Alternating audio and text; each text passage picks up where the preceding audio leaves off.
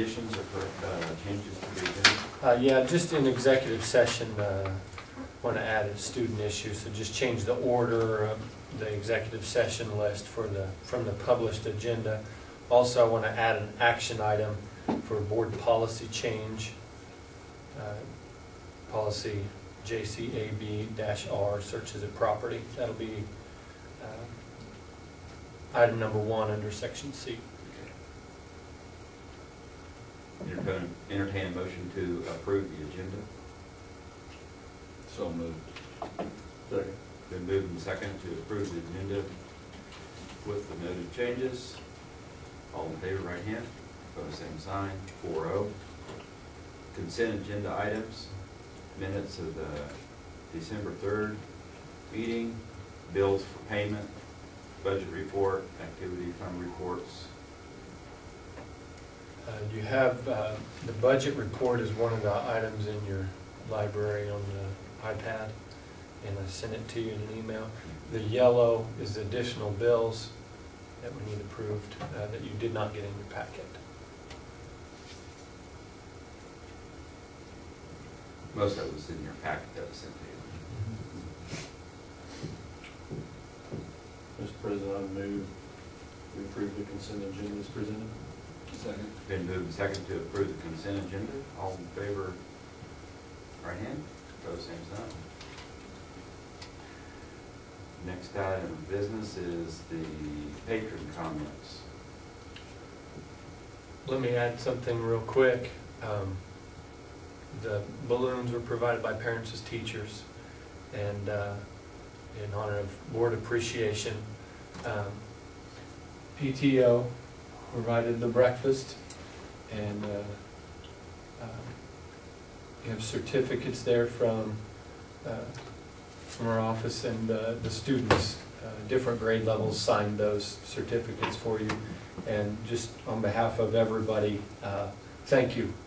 I know it's a thankless job, and, uh, but thank you for setting the vision and direction and your leadership to, for the school district. Thank you. Oh. You got some nice ones. What grade? I believe that's pre-K. Yeah. Okay. They're very talented. Thank you. All right, our first item of business is, oops, the right page here, is uh,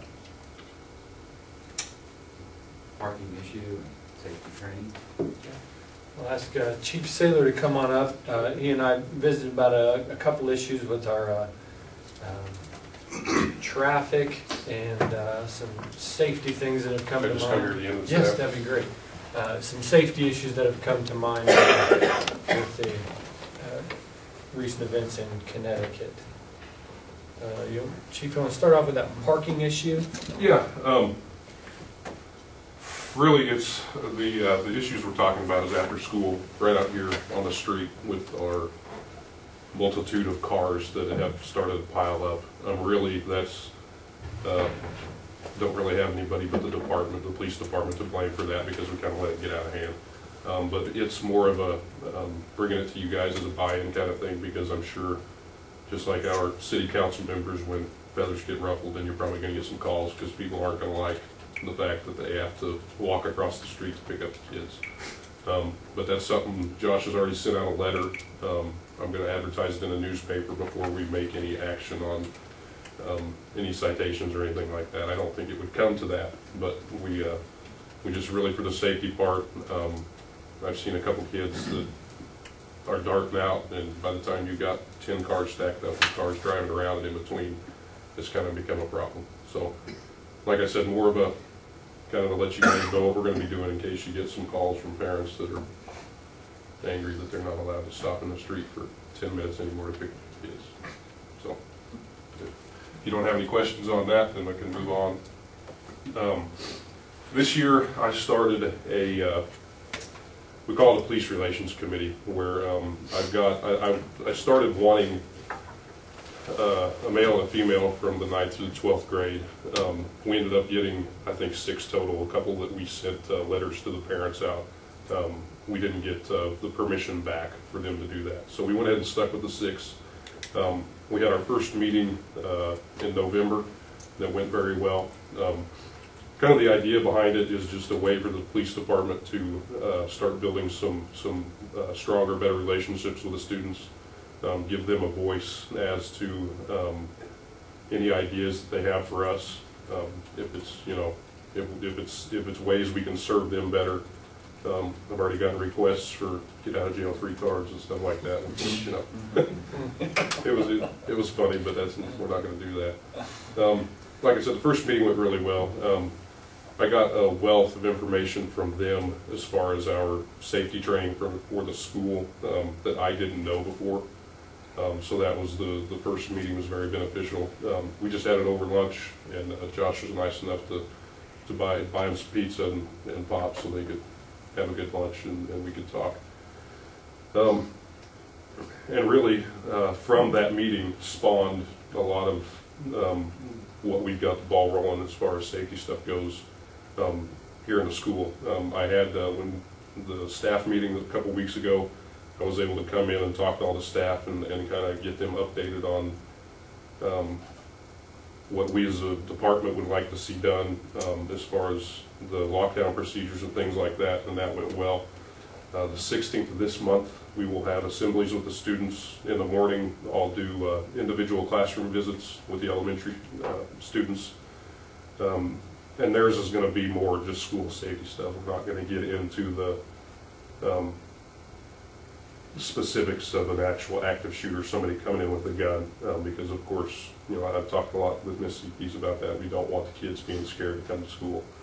Um, however, with our junior high and high school kids, we are gonna get a little more in-depth as far as, uh, what they are gonna need to do during the lockdown, um, things that they can do, um, that you don't traditionally think of. For instance, um, you know, we, we want the kids to know that if they're locked down in a classroom and an active shooter does come in, if, if they can hear shots somewhere on the other part of the school, and although it may not be safe for them to go out into the hallway and exit the building, we want them to know that if they gotta throw a desk through a window to get out, that that's okay. Um, we also want them to know that if, uh, if they're in a classroom and somebody, or a hallway or anything, somebody comes in with a gun, they don't have to be a victim. You know, we, we want them to know that if, they- whatever they've gotta do to fight a situation like that, that's okay also. Um, you know, obviously separated that they can be getting in fights just because they have a problem with a kid in class. However, all bets are off when somebody comes in our school with a gun to hurt our kids, and we want them to know that they're not gonna get in any kind of trouble or anything like that, if, if they're gonna, you know, that's a last resort. I mean, that's obviously if they are actually facing somebody with a gun and that kind of thing. Um, after that, then we will start, um, doing our actual lockdown procedures, practicing those. Um, and once we, uh, get to observe those a time or two and kind of pick out our weaknesses and get those strengthened, uh, then before the end of the school year, we would like to do an actual scenario. So, um, I would really, uh, want to point out to you guys my appreciation for your school administration, uh, Josh, Mr. Bergen, Ms. Seekes, uh, Julianne, all of them. We've had good cooperation in the past, but this year it's been brought to a whole new level, and it's, I feel we're all on the same pla- uh, page, we have communication, we're talking sometimes once a day, once a week, so, uh, I want to recognize them, you know, in front of the board, that they are doing a, a really fantastic job. Uh, The scenarios that you are wanting to run through, is this something that other police departments have done with school districts? Oh, yeah, yeah. And so you can feed off of what's they've done? Mhm, Yeah, yeah, and it's, it'll be a, uh, on the sixteenth when we have the assembly, I've also invited, I know the, the chief of police from Stafford is coming, I believe the chief from Macksville. Um, I should have a highway patrolman there, fire EMS, because another thing I want our kids to know is that if, if something like this happens in our small town, it's not gonna be just our department responding. It will be initially, but I want them to see, to know that, that officers are gonna be coming that aren't gonna be wearing the same uniform we are um, and that kind of thing. But yeah, this it's uh, it's something we've been trying to compile for a while, and just so happened this year that everything finally fell into place to get us to be able to make, basically go from A to Z and, and start from the beginning and, and, get the training done and then do an actual scenario.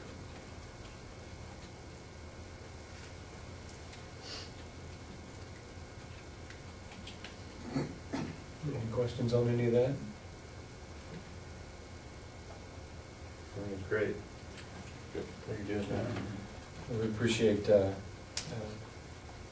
I appreciate Adam's uh, openness and, uh, like I said, the communication lines are open. It's a good setup.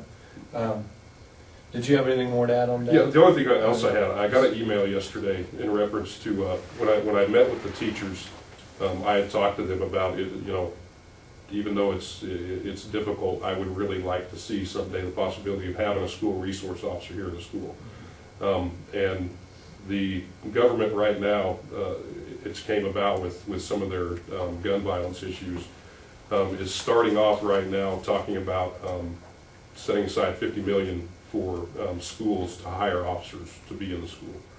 So that's something I, you know, um, when you, when you talk about school resource officers, the, the actual, uh, policy-wise and traditionally, the bulk of that is actually on the school rather than, it's a partnership between the school and the police department, but typically, um, the officer is paid by the school and through the school's funds and stuff like that.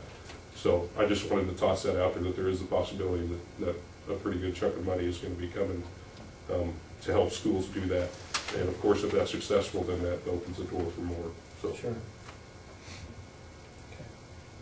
Hey, Adam. Yes. Um, Years ago, when I was on a parents' uh, committee through the school, it was a big thing for a peer court. Do they still do that? Have you ever heard of that?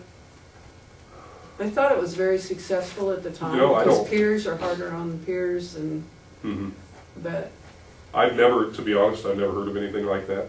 Um, So, yeah, I, I mean, I, if, I mean, if you could explain it more, maybe, I don't know what, well, basically, it's, you know, peers from the school or the county, and if somebody gets like a, um, most of it's like a, like a shoplifting okay. violation or something, that the peers would be the one to decide their, um, well, but, not destination, what I wanna say. Yeah, um, I think probably the reason, uh, you don't see that anymore is the, the laws with juveniles have changed Mm. dramatically as far as we, the way we can handle them. Um, it used to be with, with, uh, and especially in a small town like us, our, our city court isn't a court of record per se, so all of our ju- juvenile cases have to be handled through the district court. And it used to be if, uh, you know, if you caught a, a juvenile, say, driving around with an open container, shoplifting, something like that, we, we had the power to make the decision of just to call the parents or something like that. Uh, the way it is now, um, anytime we have contact with a juvenile in an arrestable situation, we don't have a choice. Uh, we have to make the arrest and it has to be referred to juvenile intake. So I, I would imagine that might be why you don't see something like that Well, anymore. I know at the time, a lot of kids said it was harder to walk in front of their peers and admit Sure. what they did, and Yeah, a lot of times the peers were harder on them on there. and, and it- I'm, I'm glad you said that. Aside from that, as far as, I'm sure you, you're aware of the issues we have with the students coming into school. Um, I would, if anybody has any questions about that, I'd be more than happy to answer them. It would have to be in an executive session setting, uh, because although some arrests have been made, it's still an ongoing investigation. So I want to throw that out there too. If you guys, you know, I can, I can run you through what's happened, where we're at now if you'd like. Or if not, that's fine too. Um, We're going to talk about it later in the meeting, uh, but I'm assuming uh, it's a good time to get Chief out of here. We could, uh, I'll do that. Oh, Unless you guys have specific questions directed toward him, I don't know that we need to discuss it.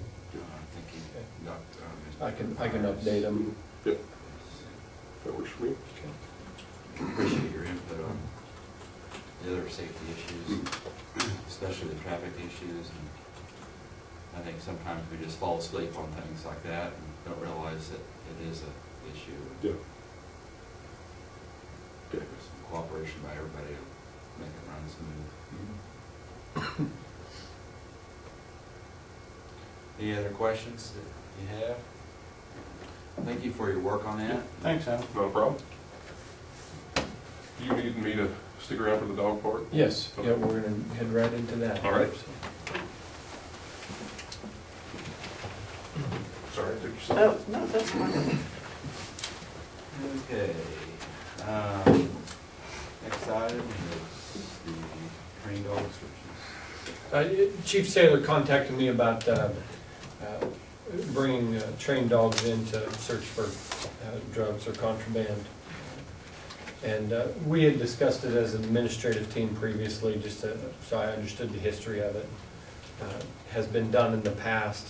Um, Looking at our policy, um, well, two reasons for bringing this. One is we need to, we need to update our policy.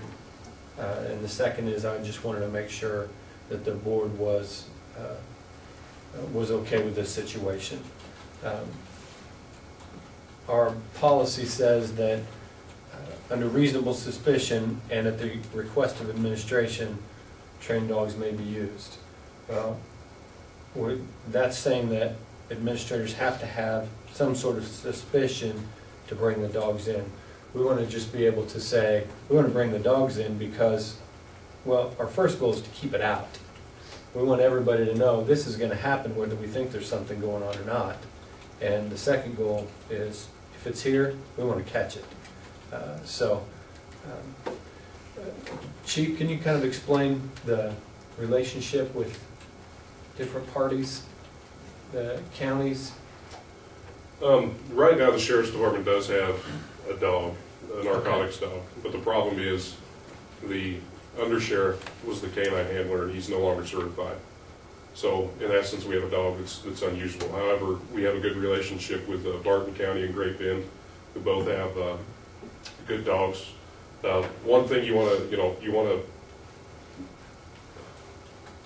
the, the only way I would be comfortable with bringing in an outside dog, if it was one that I had worked with before, that I knew was, uh, reliable, and uh, because of the fact that our dog in the county hasn't been able to be used for so long, we've relied on them.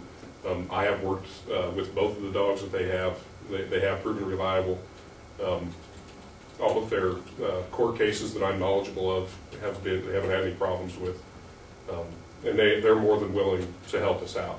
Um, when I, when I first approached Josh about it, it was more, uh, uh, Stafford was wanting to do it and Macksville was as well. And so they, we, you know, the, the law enforcement had got together and uh, Barton County and, and Great Bend have both agreed that it would be, you know, more effective and, and more efficient if they could just come down one day and, and, and do all the schools.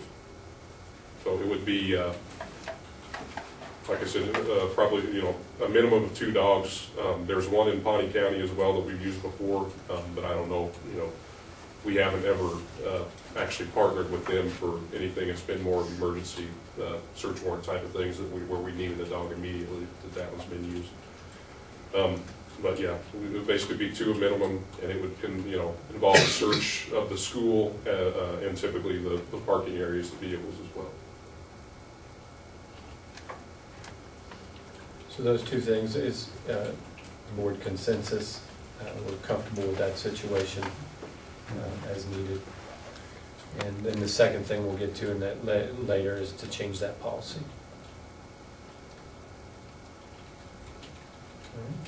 Is that a random search or on suspicion? Uh, Random, E- either or. If, if, uh, if we have a reason to think that something is going on, we would make a call and see about arranging something, or could be random. Both are, uh, good, best practice is to do both. I would agree with that.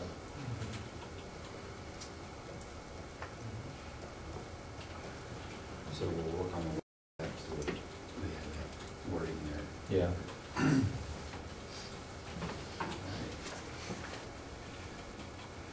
And the emergency procedures.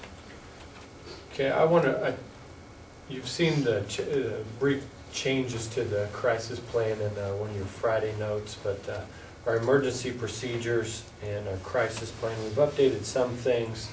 Um, You know, we just get lax on some things, uh, and when we have tragic events, it makes us think about those things and our vulnerabilities.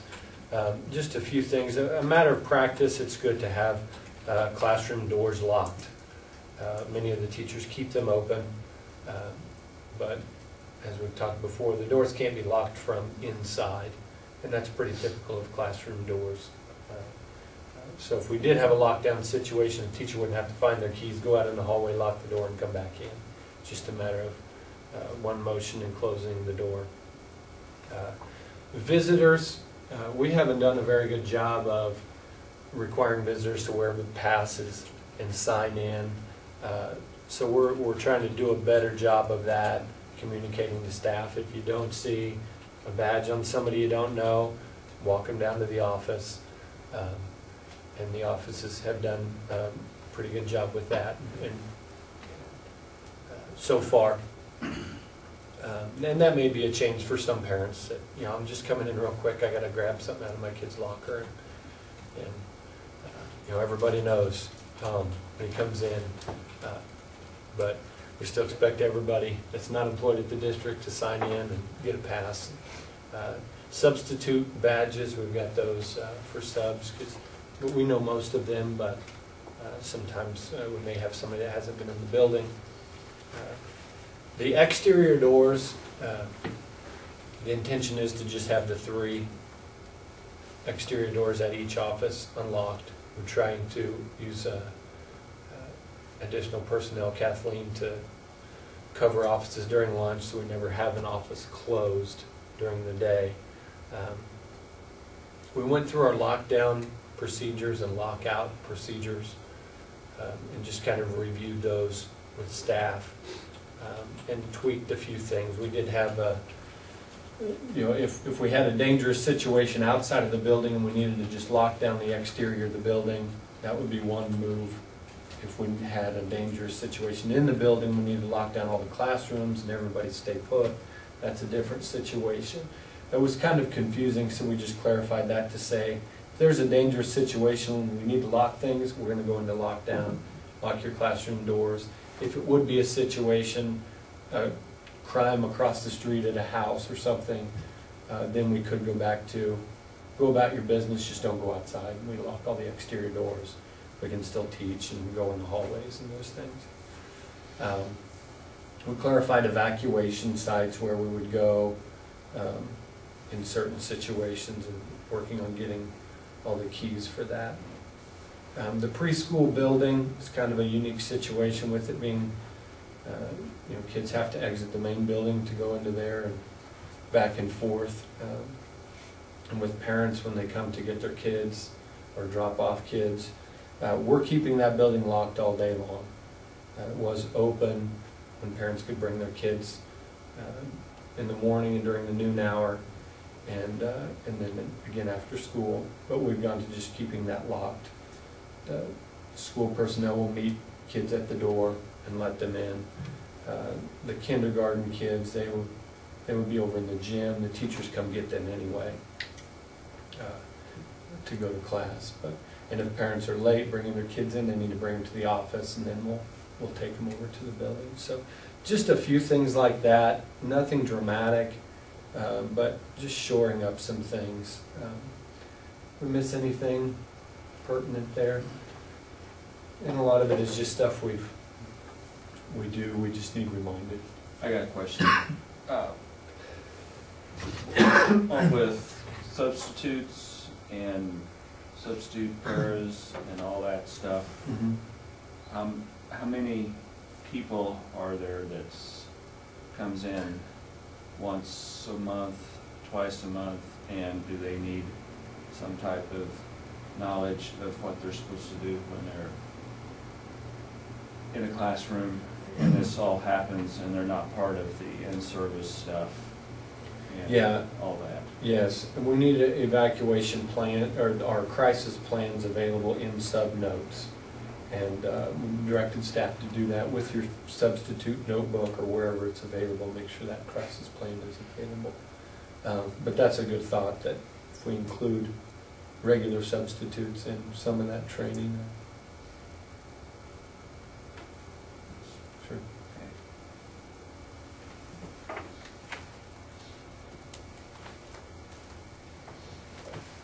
Other questions? All right. Move on to uh, item number four, elementary achievement data. I have all kinds of great stuff for you guys to look at. Thank you, Chief Sailor. You're welcome, thank you.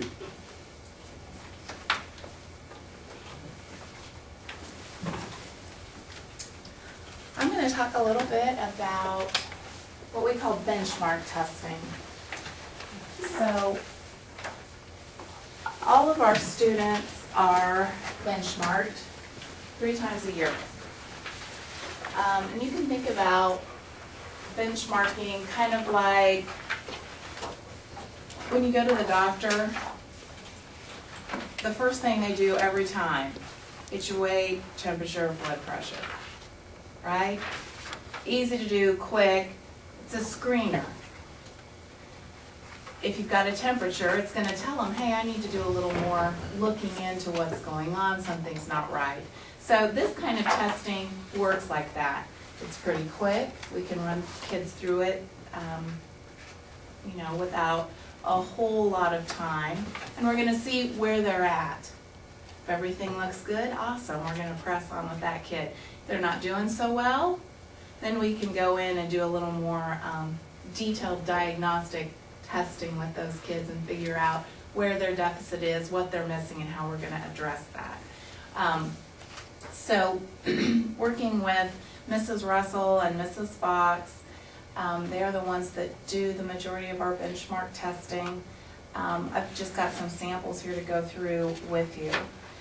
Um, in purple, what was on top? Um, you see some kindergarten things.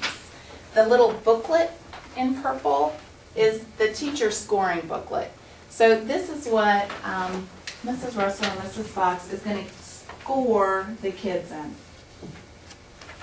And if you look on the front, you're going to see spaces for, again, fall, winter, and spring. So we're going to see how these kids are growing through their kindergarten year. The flat sheets in purple are what the kids actually see, okay? So I wanted to give you an idea of where we start with kids. So with kindergartners, we're starting with letter naming fluency. Okay, so they're just gonna see this page of letters and they'll be timed. And our teachers are gonna keep track. How many letters do they know? How many can they name accurately in a minute? Okay? So then, as the year goes on, our kindergartners are expected to know more. Um, and we move on, clear on up to nonsense word fluency. So we're starting with letter naming, letter sounds, phoneme segmentation. Like, can they sound out the parts of a word? At. Can they break that up? Segment a word? And then nonsense words. Can they look at letters together and put those phonemes together and say it? Okay? So again, that's, that's a kindergarten sample. This is where we're starting with our kids. All right? So when kindergartners come in in the fall, right away, we're gonna benchmark them and we're gonna see. Do they know their letters? Um, If they don't, most of them that have been through preschool are gonna do fairly well. If they don't, okay, we're gonna probably have to work closely with those kids. Maybe we'll put them in Title One to give them thirty extra minutes of help with that to try to get them caught up. Um, our teachers also use this data for MTSS grouping. So, um, next, I have in yellow some fourth grade information there. Just again, to give you guys an idea of how, you know, the expectations are changing, but again, we're doing minute to five minute long testing with kids. It's gonna give us a good snapshot of where they're at. So again, in yellow, you see the little teacher booklet where they're keeping scores. And then you see the flat page in yellow um, is a comprehension test. We call it MAZE, okay? And it's, it's a comprehension piece um, that they're gonna read through and try to decide the word um, that's gonna fit in there.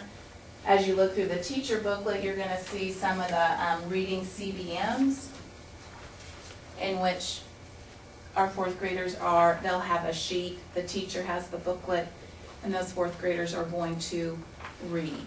And our teachers are gonna keep track of words they miss and how many words they read in a minute's time.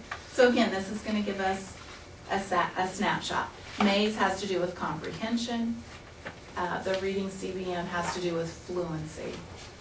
And so again, here you go, you can see with a fourth grader right away. Okay, maybe their comprehension is pretty good if they're reading slowly, but maybe their fluency is poor. So, okay, well, we need to work on fluency. Or maybe we need to do a quick phonics screen, or let's figure out why their fluency is poor. And um, drill down and make sure that we're addressing the real issue with that student. Um, and again, I think it's, it's easy for us to go back to a medical analogy. All right, you come in with a fever. Well, I could give you a Tylenol and an antibiotic. I mean, you know, well, maybe we ought to do a little bit of talking and figure out what's really causing the fever so we can be effective with how we, we treat that. So that's what we're trying to do with, with this kind of data, is get down to what's really going on with kids. Um, we also do screenings for math. so if you go to the pink stuff, again, we've got a little math sample here for you. Pink, you'll see some first grade um, information. Again, the little booklet, um, test for early numeracy. It's what the teachers are going to keep track on. And then the flat pink sheets are what students are going to see. So oral counting. Again, we start simple. All right, can you count? All right, start with one. And we're going to see how they do. Number identification, um, you know, kind of like the letter identification. Got a, a page full of numbers. Can those kids look at a number and tell me what it is when it's not in order? Quantity discrimination, which number is bigger? And then missing number. So again, I'm not starting at one and counting up and they've got to tell me what's missing. We're skipping around. Do they know, um, you know, the order of numbers well enough that they can tell me what's missing? um, when, even when it's not in order. So again, this is early math screening here. And then on gray, third grade. So now we're moving from general knowledge of the order of numbers, quantity discrimination to actual computation. So you can see the teacher sheet where the teacher has um, scored how the child did, and then this is an actual child sample of that third grade computation test.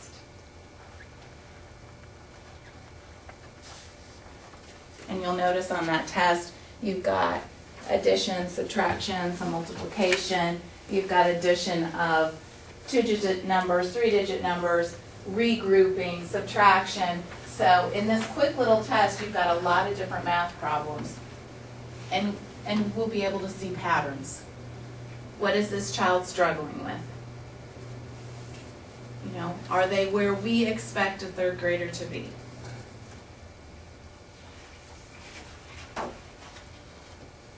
Okay, so, Um, I was just gonna ask if the blank ones were oral. uh, no, they don't know them. If, if they left it blank, they didn't know it. I Um, mean, down here, it looks like they're written. I wondered if it was Oh. oral from the teacher and then they had to write it in the, in the form. No, I'm not sure about that. Anyway. Just um, curious. Yeah, I'll have to ask Mrs. Russell on that, I'm not sure about that. Um, The, the math test get, I took one that was eight minute long with a child who was just really not wanting to take that benchmark test and so I sat down and did it at the same time as they did it. So, I mean, you know, it, it is, um,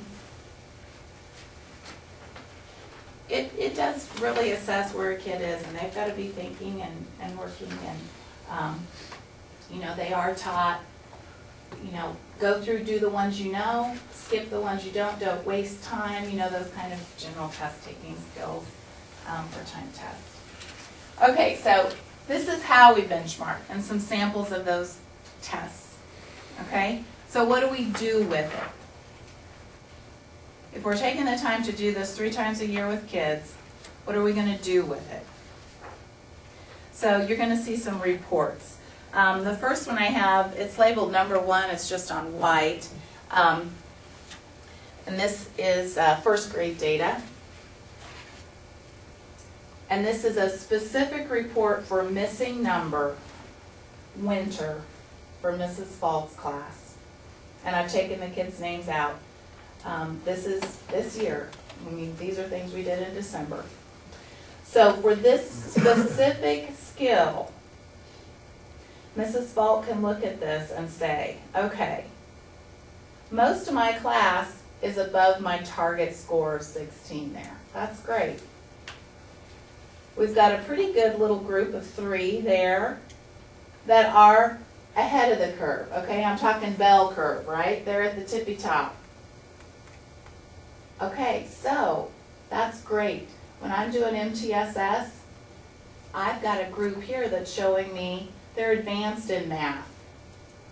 I need to have plans and lessons for them that um, give them more than most of the first graders are getting. They're ready to move on. They're ready to be challenged a little bit, okay? And then I've got a little group here that needs intervention, okay, at the bottom. They're below my target. Something's going on with these kids. I need to figure out how to help them specifically with this skill. So I'm probably gonna have another, again, MTSS group, Title I group, addressing that specific deficit. So we're, we're using this data to be really efficient with our teaching, okay? When we do MTSS time, Title I time, it's not just a review of the morning's math lesson. It is a targeted assistance for those kids. I know what you need. You know, you need to be accelerated here. We're gonna give you something extra. You need, um, you know, some help with counting. I mean, you know, those kinds of things. We're gonna give you that help and try to get you either caught up or accelerated, give you what you need in those times. Um, the number two, label number two again on white, it's second grade. Um, and again, this is an individual class report at a specific time. So you can see this is second grade, Mr. Cooper's class, winter, okay? And of course, when I look at all this stuff, I just want to see everybody above the target, right? Um, I'm probably not going to. But I know my teachers have this data, and at least if we've got kids below the target, we can, we know why, and we can give them instruction that's gonna help catch them up. Okay? So the next reports, it's label number three on white. Here's where we get into comparison. So we're looking at how kids are growing. Again, these are from this year, so from fall to winter. And these, on the computer, they do come up in color. They're a little bit easier to read than, than how I have them copied. I apologize for that. But um, we're always looking for growth. Okay? And from fall to winter this year, we saw every child grow in every area in our elementary school. So that's an achievement. Okay? But one thing we talk about a lot is the difference between annual growth and catch-up growth. I expect a kid to get smarter as the year goes on, right? That's annual growth. Some kids, I'm expecting to have annual growth and I'm telling my teachers, you've got to catch them up too. Okay? They're behind in kindergarten. In first grade, I don't want them behind. So I'm going to ask those teachers not only to make sure that they gain the knowledge that they need to gain in kindergarten, but they need to be caught up too. I've got kindergartners that show up with the skills of a, a three-year-old. And in May, I want them to have the skills of a seven-year-old. Right? So we've got annual growth and catch-up growth. And catch-up growth is hard. And the older children get, the more difficult catch-up growth becomes. So it's very important, kindergarten, first grade, second grade, to get them caught up, back up with their peers. Um, after that time, we don't have enough time in the day to probably catch those kids up. So we're using Title I, a thirty-minute block, to help catch kids up. We're using MTSS, another thirty-minute block, to help catch kids up. MTSS has also used that thirty-minute block to address our kids at the top. Okay? I might have a kindergartner who can already read. That's awesome. They need to be challenged. They need something else. So I've got 30 minutes in the day to do that. Now, as you can imagine, if you're a teacher, all of a sudden you've got a day's lesson plans for your class. And now you've got to come up with your MTSS lesson plans in which you might have five separate lesson plans for a 30 minute block to be addressing the specific needs of the kids in your class. That takes a lot of time. We've got great data. It takes time to look at it, to understand it, and to use it to benefit the kids, which is why we're why we're doing it. To plan for those kids. Um, we try to look at data every two weeks um, to regroup kids. You know, hey, we get them in MTSS time, we address this issue. Boy, they once they get it, they're good. They don't need to be in that group all year, even in nine weeks. Okay, once they've got it, we need to move them on. Um, so there's a lot of gathering new data, regrouping, looking at that data. Are kids responding? If they're not responding, what do we need to do? It's, it takes a lot of time for my teachers to be prepared to use the data again to specifically address the needs of the students. So, um, and if we find kids that aren't responding to what interventions we've got in place, we have other more specific diagnostic tests we can do with those kids. Um, and hopefully address those needs. Um, anyway, so we also get really good information from Lexia and Reading Plus, the computer-based programs that we use. Those are child-specific, and we get child-specific data from those programs. You know, clear down to, um, you know, you know, this child is struggling with um, point of view. I mean, very specific where their reading deficit might be, and teachers can then address that. So, okay, I gave you tons of information. I talked really fast. If you have any questions,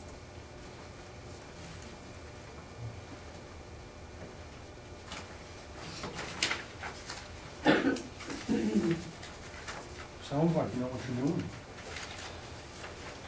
I think I like to think we do know what we're doing. We spend, uh, we spend a lot of money on the, the testing, and we spend a lot of time, uh, professional development. Um, we added a lot of time.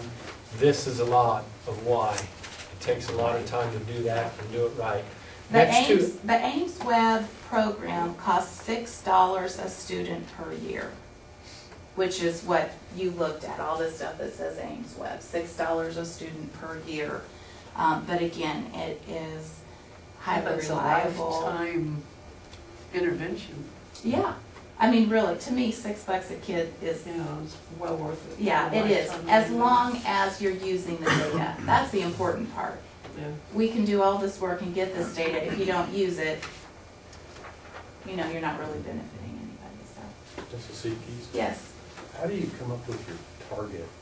That is, um, norm referenced, okay, so that would be a national kind of thing. So it, the, the AIMSweb people, that research sets the target. Um, one kind of issue we sometimes find is that, um, our expectations, especially in kindergarten and first grade, are above what nationally we're calling a target. Um, so for the most part, our kindergartners in first grade have higher expectations than what these national norm reference tests are gonna say. So, Um, sometimes when we talk with parents of kindergartners who are struggling, you know, we could say, okay, compared to everybody else in the United States, your kid's doing okay. But we also have, um, reports that we can show parents that say, okay, but compared to the other kids in kindergarten in St. John, this is where your kid is. Um, because we, again, we do have higher expectations, um, or we're able to, move those kids along a little faster than, you know, the United States as a whole, so. So sometimes that, that does come up. Um, anyway. Other questions? Okay. Thank you. Thank you. Um, I'm gonna move Mrs. Seepkes right into her board report here. Uh, She's gotta get on out of here, she's got family in town, so. I know, they started the party without me. Anyway, um, teaching and learning, the geography bee was on January fourth. Um, the elementary students that participated in that did a very good job, and I would expect to see those kids' names coming up again in years to come. Um, our winners were all, um, some of Mr. Bergen's kids, so I won't steal his thunder there. Um, jump rope for heart assembly, um, where we have the jumpers come in, will be on January sixteenth, that's always a lot of fun. Um, Ms. Reason met with all of the kids yesterday, um, to talk about raising money for, um, American Heart Association with jump rope and hoops for heart. So if you haven't been hit up by about hundred and fifty kids for money for that, you have your dollar bills ready. Um, as, uh, Chief Sailor visited with you all about earlier, we are planning on having him in our building on January sixteenth. Um, I visited individually with all my teachers about how we wanted to handle that kind of information with our little ones. Um, and rather than having a whole school assembly, um, Chief is gonna come room by room. And we're just gonna stay focused on school is safe. How do we practice being safe? Fire drills, tornado drills, lockdown drills, that's how we practice being safe. And again, for our little ones, we're gonna just enforce, listen to your teacher. Your teacher's gonna keep you safe. You're gonna do what your teacher says. Our little ones do not need information like throw desks through windows, fight back, things like that. We're not, we're not gonna talk about that with the little kids. They just need to listen to their teacher. Um, and we don't wanna have little kids be fearful, wanna be comfortable with Chief Sailor. And he's in the building quite a bit, um, and doing a good job with our kids. So that's our plan for the sixteenth. Um, and on another note, you know, most of, most of how we use law enforcement in school, most of how I use law enforcement in school is not, um, these huge tragedies. It's the everyday, um, cases of possible child abuse, you know, um, families that, um, are having trouble. And I call Chief Sailor whenever I feel like I need to. And he's, he's easy to talk to, he helps out, he's, he's very helpful on more of the, the day-to-day ways that we need law enforcement to help us, and I'm very appreciative. Uh, spelling is coming up January thirtieth at nine AM, it's the county spelling bee. Um, benchmark testing, I talked about that, um, took place in December, and we'll do it again in the spring. We got lucky or something. Um, not only are we gonna give regular state assessments in third and fourth grade this year, third grade is going to pilot the math smarter balance testing in early April, and fourth grade is gonna pilot English language arts smarter balance testing in early April. So, if you see Mrs. Dixon or Mrs. Frank, give them a pat on the back and say thank you because, you know, no one wants one more thing and they've got one more thing, a big thing. so coming up. But, you know, uh, smarter balance testing may be the way we go once we phase out our current state assessments. So it will be nice to have done it in our building in a, you know, no pressure situation. We can see what it's like, what we need to do, um, those kinds of things. So that's coming up. Enrollment has um, remained steady. Um, I did add one preschooler this week, so our pre-K enrollment is up by one. Um, the pre-K entrance inventory went out, um, and I have gotten a lot of those forms back. They're due here mid-month, um, and I, so in February, I should have some numbers for you guys for three and four-year-olds that are interested in attending preschool here in St. John. So we're getting, getting information back and we'll have some numbers that hopefully will help us make decisions. Uh, site council met on Monday evening, and we'll meet again in February before the board meeting. Um, our main discussion in site council, um, and our, remember, elementary site council and PTO are, are one group, so we're, we're doing both things with one group, um, is the playground. And I know you all are gonna talk about capital improvement prioritizing. Um, PTO really would like to see some nice grass on our playground. Um, so Jamie Loffer is our president, and she has looked into, um, getting some estimates on the dirt work, sprinkler systems, getting grass started in that area. Um, We would really like to see that happen. Um, We have some monies that could go toward that project. Um, Without some fundraising, we couldn't cover the whole cost of it, but we do have some monies that we would like to see that happen on our playground. So playground improvements is what we're kind of focused on as a group. Um, and again, PTO site council provided breakfast this morning as, um, for board appreciation month. Um, Jamie Laffer is our president and she came down with the stomach flu, so she was gonna come and present the breakfast and say thank you, but, um, she's at home, so.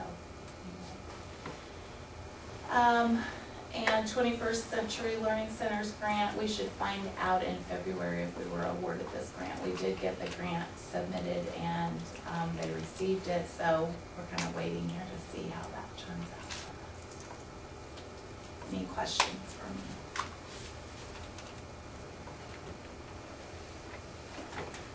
Thank you.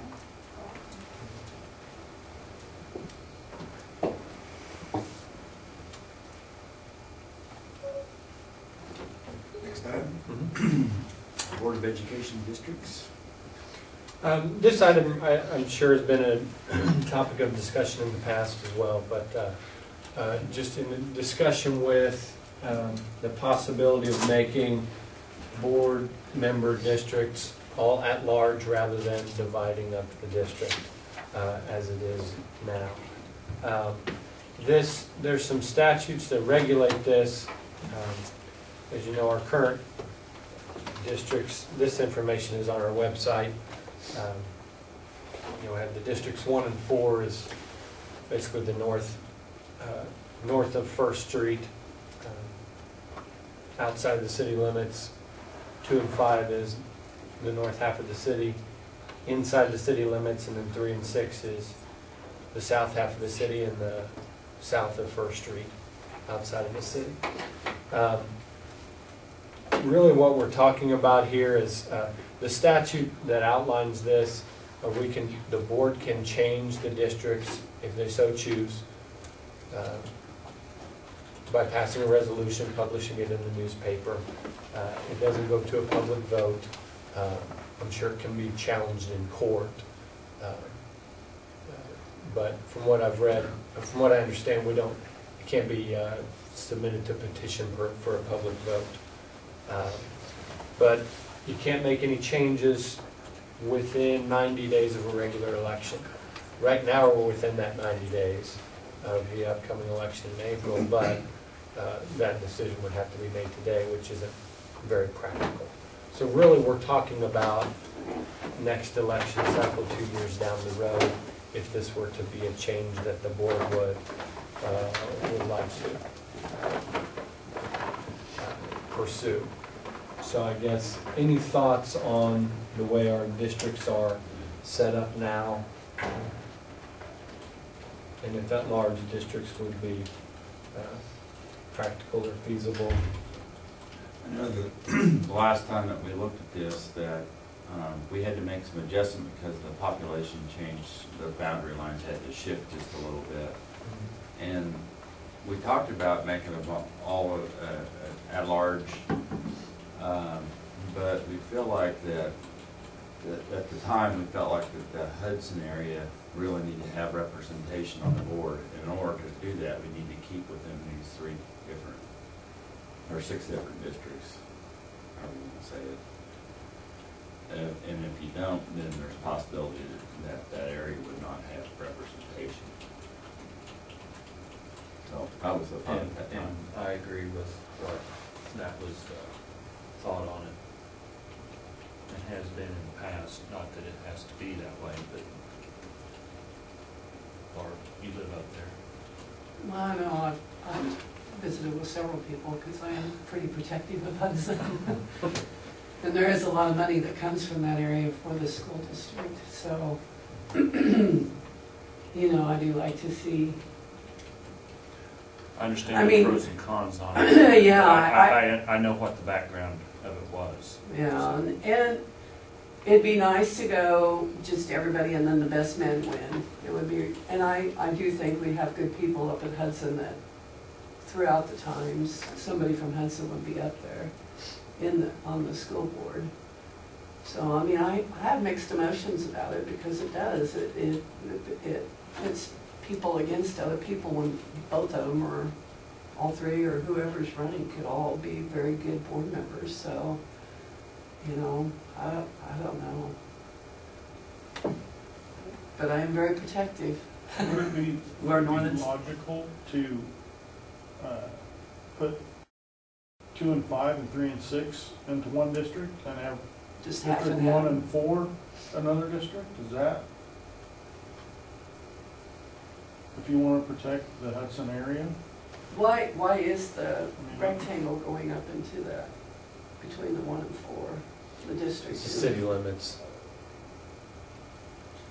You gotta get mm-hmm. the numbers Yeah, equal, equal. pretty, Yeah. pretty close to equal or. Yeah, this some area- Percentage. This area here is the city boundary. And. City I boundary lost is my here. thing on here. Where's, what's it under? Oh, It's in the supporting documents. little library, right? I don't know, I tried everything else. Oh, no, that's not it. I can get you I can get you. There, Oh, good, okay, that's all I need to know, I know, how to get, yeah, okay. I just lost that, and I was fishing everything trying to find it where you had it hidden. Uh, And I won't, I won't have a recommendation on this. It's, it's completely up to the board. Um, But I do think that this would be a discussion for uh, a couple years down the road that it Is- is appropriate to discuss. Is there, it, it shouldn't come where there's not much interest in, this, this election could tell us, you know, if there's not very many people applying to fill positions, then I can see that we need to go to an at- total at large. I just wasn't sure if there was a better way to do it, to, um, get the best candidates out there, even if, you know. A lot of times, a neighbor doesn't wanna run against a neighbor, even when they're both good candidates. I agree with all sides. Uh, You know, I could ask the people at Hudson and see what they say, and, you know, if they still are. But I hate to bring up, uh, open a can of worms too, and then we might end up with a, you know, The flip side of that too is if you, if you were all at large, you could have three members from Hudson. yeah, that's true. uh, That's or what I four said, it could. members. Yeah, yeah. Because there's, a- you know, Could go the other way. Yeah. Have more Yeah. representation. So I don't know.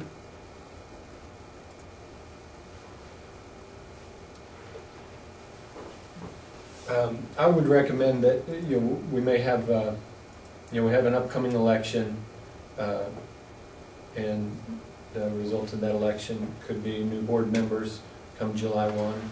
I would propose we put this on the agenda for sometime after July one and discuss it then. Um, I think it would be prudent to talk about it early and not wait two years and get right up to the election to try to decide, try to push something through, but after July one, discuss it and, and, uh, go from there. Try to decide it early before the next election cycle. Another option would be to have um, a representative from each district and more at-large. Yeah. You'd have, well, you could have four at large and, and then one, one from each district. Is that what you're saying? I think it's something to mull over and think about. and, I um, I what think it's always nice to have people represented from the different districts, because there's different opinions about things. And I know that's because we've dealt with some Hudson issues, and it's been really good to have Hudson people here. I wouldn't have that same feeling if there wasn't anybody from that Hudson area here. And I think it's extremely important to have that representation. And that's one reason I would not be in favor of at-large on all of them. Chad's idea might be a good Yeah, compromise that might for be a everybody. compromise. I, I kinda like that. I don't think anyone here doesn't want Hudson Well, I, representation. you know, I hate to be saying Hudson, Hudson, Hudson all the time, because every, every area needs their, especially when we were talking about the busing issue at one time, we oh, Okay. brought up about, you know, should we just pay parents spring? Well, I'm thinking of half the people in Hudson could care less if their child is here, because they didn't have a bus to ride, they probably wouldn't be coming to school. So, but that was at that time too. It's changed, population's changing, I think, a little bit up there, so. You know, times change and sometimes you just gotta accept change, but we just like to be, have our name on things too, mhm. so. And it gets eliminated because the name's so long, St. John Hudson, but it is an identification, just like Josh, that night that they put on there, that mm-hmm. St. John was closed, and everybody thought it was us. Well, if you didn't have St. John Beloit, St. John S- mm-hmm. Salina, and St. John Hudson, there's three right there that people get confused. Mm-hmm. But then you think about all these consolidated schools that go by Central Plains, where's that? You know, and a lot of, a lot of schools are, towns losing their identity through consolidation too, because they're coming up with just a whole new name, so nobody knows where they're located. But Thunder Ridge. Thunder Ridge, it's by Thunder and Where's Ridge. Yeah. Well, does that sound good? I'll, I'll, I'll make a note to put that on the, on, as an item of discussion after, uh, July one and. Is there any way that we could get input from people? I mean, a- Mhm. a quick, easy way to get input? Go, go to the coffee shop. Well, it depends on whether you go to coffee shop here or Well, out. Yeah. Ten o'clock every day, Monday through Saturday. At Wheatland's, you know, You'll learn a they're lot. there, they're The there. best way to get input is just tell, tell people you're gonna change it, And and then, they'll start calling. yeah. All right, Um, on that note, uh, we do have an election coming up. Um, we checked, as of yesterday, for the three open positions, no one had filed. Um, Not to put anybody on the spot here, um, and you don't have to make it public, uh, now if you don't feel comfortable. Uh, But if, if anybody knows of their decision now, um, I got the papers at home, I came, does that tell you anything? okay. Yes. Yeah, They have till, they have till the twenty-second, is that right? twenty-second at noon. Noon. Yep. It's a long ways off. Yeah. Especially for procrastinators. I am not planning to refile. And you are in District, what, three Three. and six?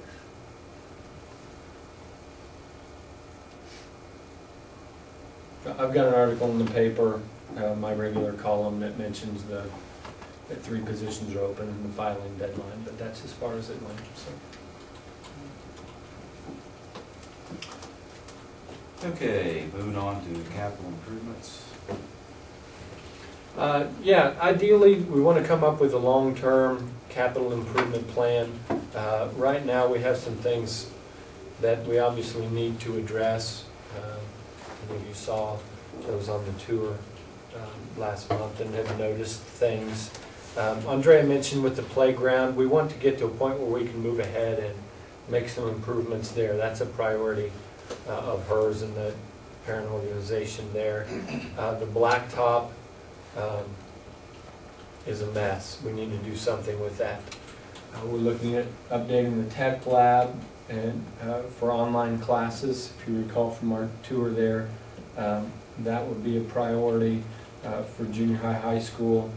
The bathrooms, priority of staff and many board members I know with the hot water and uh, just getting things updated. So those would be some six-month um, needs, some things we need to take care of. With thinking about all of our safety and security, um, several things have come to mind. Anytime we have kids walking out of our main building, going somewhere else, it's a cause of concern.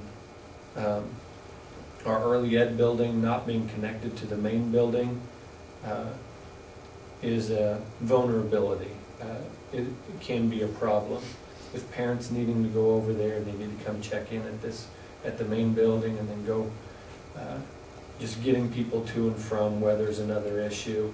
Um, Also, our office areas, we have three entrances to the building. Um, We're doing a better job of covering those offices all the time during the school day.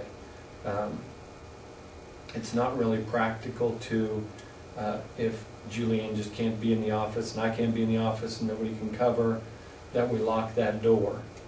Um, Or we put a sign up that says, go to the elementary office, then we have somebody walking through the building un- unescorted. uh, uh, There's a lot of situations there. Um, Thinking about those things, uh, looking at creating a new office area, maybe between the early ed building and the main building and connecting those buildings with an office area where we could combine two offices. Maybe mine and Mrs. Siefke's, where Julianne and Marla could be the two personnel in there. That reduces one public entrance by one. Uh, And we use our personnel a little more efficiently that way. Uh, We don't need as much extra help to cover, we have two folks in there. Um, That's a big project. Um, And that would require architect and probably financing something. Um, Also thinking about the weight room. Um, We have kids going out there and back. Uh, Communication issues there if we have situations. We've discussed possibility of adding locker rooms and a weight room um, on the east end of the gym there. Um, For better facilities, one, and safety and security issues uh, is another aspect of that. Um, Are all those things needed? I don't know. I don't want to be the only one to say uh, that those things are needed. Um, So I guess what I'm asking from the board is some direction, is, uh, I guess, some discussion on that. We would need to get an architect involved to give us more ideas, if that was a direction we would want to head with any new construction like that. So first, could I get input on that and, uh, uh, as a first step? Our bonds paid off this year, is that right? Next year technically, uh, we won't levy any In tax. twenty fourteen? We won't levy any taxes for it next year at all, but we still have to pay some of that, but it's from cash reserve that we've already built up in that bond fund. If that makes sense. It's really paid off now technically, for all practical purposes. I never liked the fact that kids go back and forth between the new building and even the library, you know. The little ones are usually with the teacher, but there are some junior high and high school kids that go to the library and get a book and come back and on their own, and it's always bothered me, and I've worked with special ed for seventeen years here, and we were in all different positions and classrooms, and when we had to have the students walk to the library, it made me nervous. So, because if anybody really wanted to just watch some of these kids, and they do it on a routine basis, they could, you know,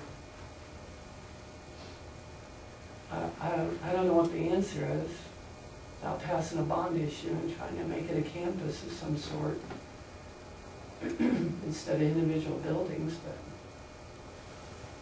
What, just an initial thought, some things that have crossed my mind is with, this is the early ed building here. And then, uh, this is the Doran's house and their half of the parking lot and our half of the parking lot.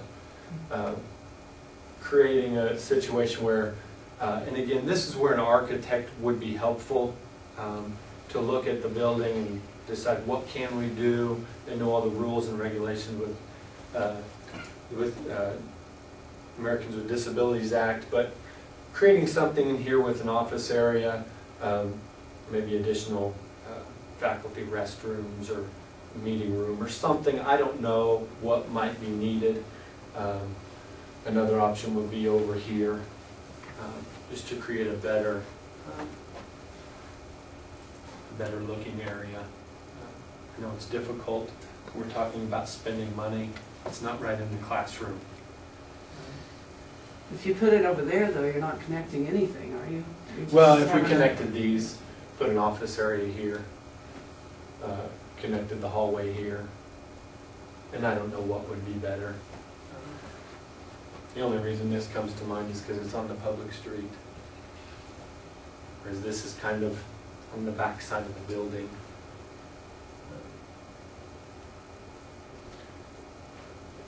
And then the locker room, weight room. um, thinking in this area with our entrance to the gym and locker room area there. Um, I think we have a big public safety issue with the way, especially elementary, the way parents come in and or our administrative offices are not visible. In other words, we're not, have windows where you can see who's walking in. And I think that's something that really needs to be addressed in today's, we, we really need to know who's walking in this building the minute they walk in. And So you need to have administrative offices that have visibility of people walking in the building. And high school side is a little easier. Uh, Well, I actually, junior high, high school. You know, the high schools on the west side's the same way. You really don't know who's walking in until they really gonna come into the building. And that's a safety issue. I'd like to close that, the high school, the one that's on the west side, completely down and move it clear to the north. Have you ever checked into like monitors that we could put shooting down to the door and then have in the office? Where they could watch all three, you know, or even all the doors as far as that goes, because the shop door and that gym door in the boys, by the boys' bathroom, I think you used to be able to find that open twenty-four seven sometimes. in the I- boys' and Maybe locker it's changed now, huh? room. Talking about the Go, boys' locker yeah, room. into the boys' locker room and stuff. But I wonder if there's a, a monitor system that we could get of some sort and, you know, have it in the office. and- I think we should probably have cameras on all the door, on all the exterior doors. That's what I think. Cameras and maybe down the all the time. hallway. Because even that, some of these schools that you see that come on TV, they have those cameras going down the hallways and they're watching these people walking down. They've got them showing them coming down the hallways and stuff. I wonder if that might be a initial step. I know that's gonna be pricey too, but.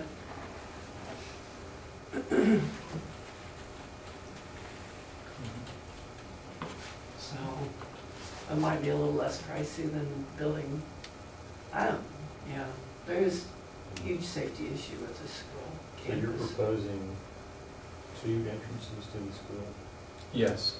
that are unlocked, everything else locked during the mm-hmm. day? Another big project, regardless of whether we do any new construction or anything, would be interior and exterior doors. That would be a pricey project, or classroom doors, especially in the elementary side. Then, well, not in the high school uh, hallway.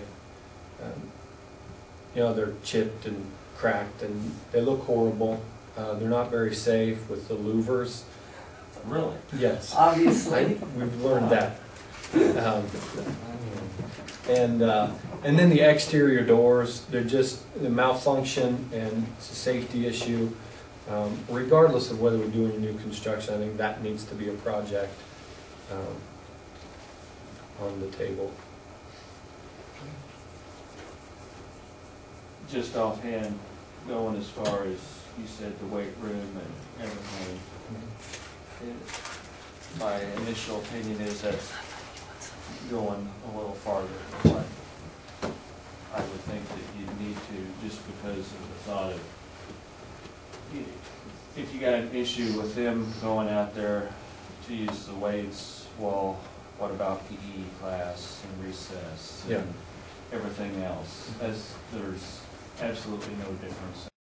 And, you know, as long as, uh, those doors are locked and you've gotta have your swiper or whatever to get back in. uh, Everyone's got a cell phone going to and from their, uh, Miss Friesen always has, does she have a walkie-talkie or Mhm. something when they're out there and Uh, It's not so much when they're with uh, a teacher, it's when they're on their own, like between the library and things, when these kids are. And please don't misunderstand, I don't mean, I, I'm not suggesting that we need to build a weight room and locker room, uh, because it's a, it's only a safety concern. It, it's one aspect, one small aspect of that. Um,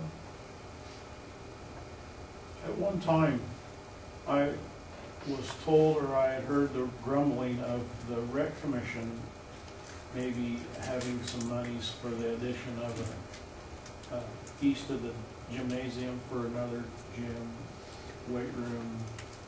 Is there anything to that, or? Just visited with uh, Nick Garcia uh, about, about that. They've looked at, um, you know, they would like to build a rec facility with half a gym and maybe an aerobics room or activity room and offices.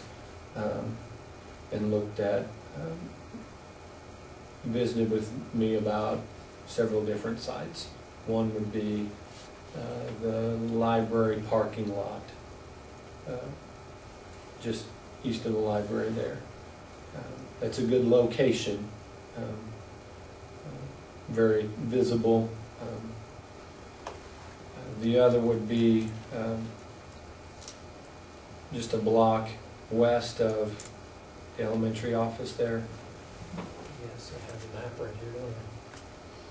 Um, uh, Right in that empty lot there at and Fifth. To me, it would make sense for both entities to try to include that together, wouldn't it? Yes, and I, and I asked him of, of that possibility if it were to be something that, because the school district or the city would have to put up the building. They can't own property, they can't, uh, that, that, as an entity, they can't, uh, The rec commission. the, the rec commission, they can't own a building and property. Um, They can limit, lease it, rent it, um, so it would have to be owned by the school district and they pay for it and, um, lease it. Um, And I asked him about that possibility of what if that facility were to be attached to the school? The concern there is that they wouldn't wanna do that and it just be a school facility. Um, The concern for the board would be if we put up money for something like that, even if they pay us, if, if they're no longer an entity, or they don't have money in the future to pay for it, it's the school district's facility, we have to be able to use it or do something with it. So if we put it off-site, it makes it more difficult to use. Uh, So if it were connected, um, you could get more use out of it, even if it were the rec commission's building. You know, you would have to structure it in a way where it could be locked off, or it could be a public building during the day and people can't get into school. Um, But there is that possibility. There's also some issues with the Hudson people supporting that because of, you know, they had a gym up at Hudson and they closed that down. Yada yada, when they were using that for practice and things like that. And people, and the rec commission doesn't, they encourage Hudson people to use the rec commission, but they don't ever go up and do anything in Hudson. So there's a lot of hard feelings up there with the rec commission not serving the whole district, they're just staying in. Even though Nick, he did go up there one time for a pizza party, and I told him that, I told him he needed to work through some people around there to try and get it to go, and it didn't. And That was the one time that he's tried something and said it really didn't work, so. There's a lot of people up there that are real upset about that. Ball diamonds not being used by him, you know, all the money is located down here, and so this building brought up a lot of hard feelings, mm-hmm. so. Because it's been brought up several times up there, and.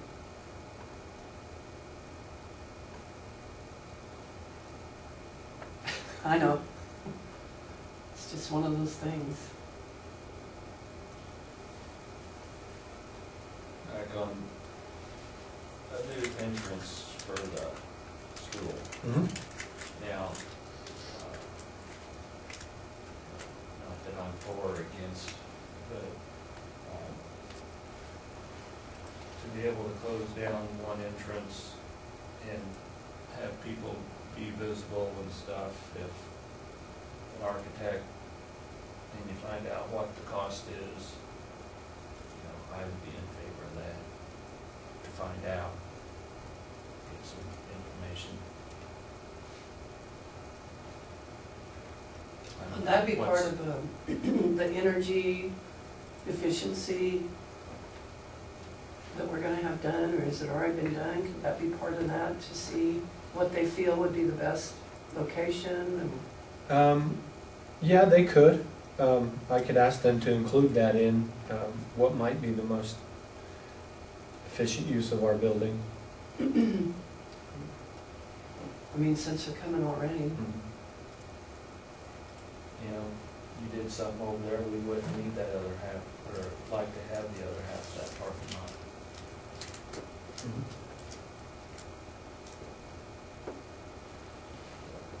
Do, right now, do people still come in the alley there on the east, that's, I think that's labeled East Fifth, and drop their kids off there? all the time. Mhm. And they drop their kids off on Monroe. Yes.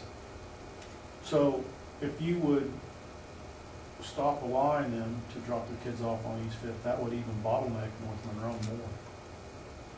Yeah, and I'm not thinking shutting that down at all.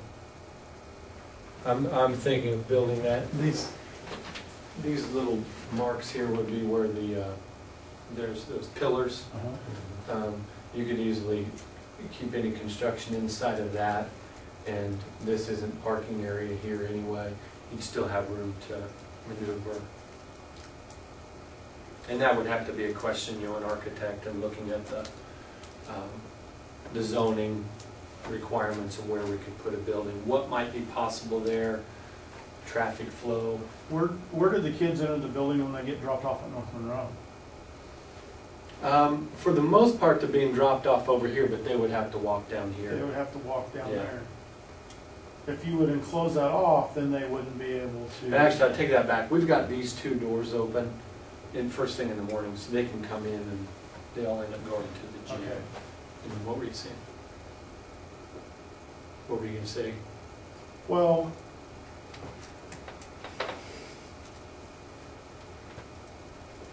I guess I'm, I follow you now on what you're doing. Okay.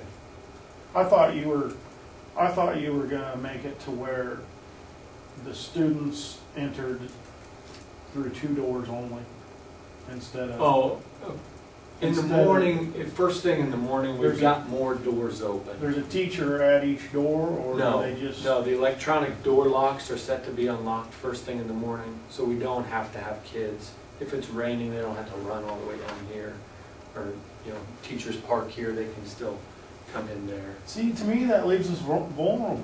I mean, if we're talking about having them locked all the time, th- there needs to be someone, I think there needs to be someone at the door when the, when the doors are open. Doesn't there? Doesn't that make sense? Yes and no. I mean, if you have, if you're having kids come in and out of the building, you know, the doors, whether you have somebody there or not, I guess, if you have somebody there, it's a different situation. Um, It's, Uh, you know, I, I, It's that I agree fine with it, line something's between- gonna happen, it's gonna happen, whether anyone's. Yeah. it's that fine line between being practical and, uh, and being as safe as we can. Okay. I'd venture to say on the elementary side, you're gonna find teachers in the hallway more so with the doors open, but the doors locked once the, first that bell rings. probably Those, three those or four doors are minutes. locked down, They're locked down at- right after the second bell. and Five then, minutes Right at after eight that. o'clock, they're locked. okay, and so then, the only way to get into the school is through three entrances right Yes, now. where there's an office. My office, and Andrea's office, and Mike's office, those three. So are students still coming in and out that double door over by, um, between the fifth and sixth grade hall and the, I don't even know what room is Yes, next door to. Yeah. That don't shut very well anyhow, but are the students still coming in and out there to go see Teresa? Uh, they have On to their come in own? here, because this is locked. Once they leave, once they come out there, Then then they have come to in flow here. back in through They the, have to come in here, yeah, but they are coming out. yeah. And so how they get into uh, Teresa's room? Is it This unlocked? door, it, yes, and that's the only way in. Um, And that's only unlocked if there's an adult in there. Um, And you were talking about the doors were locked, how they do that with the handicap? Isn't there a button? Can you just shut You it? have to They swipe shut a it key off? card. Oh, I see. Mhm.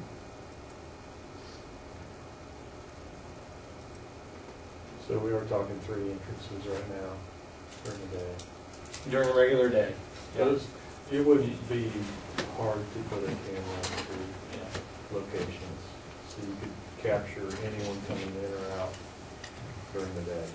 Right. You know, we do that in our facilities, and uh, it, it just gives you a clear shot if you ever need to go back in time and see who was in the activity. Yeah. Um,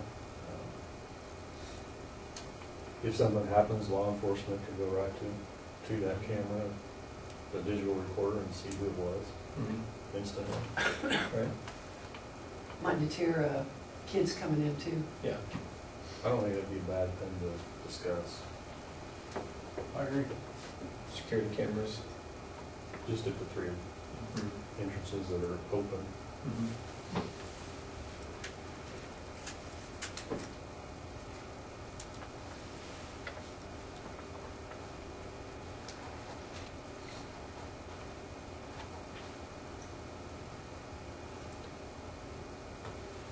Any other feelings on the, um, getting an architect involved in some of this new construction and getting some input? I just, I didn't want to spend any money on that if, if we were completely opposed to any of that. Let's see what the, the energy, or what is that? All that is is school efficiency, whether you're using your Yeah. personnel. I don't think it really has to do with, Well, I thought they looked at They- your building also.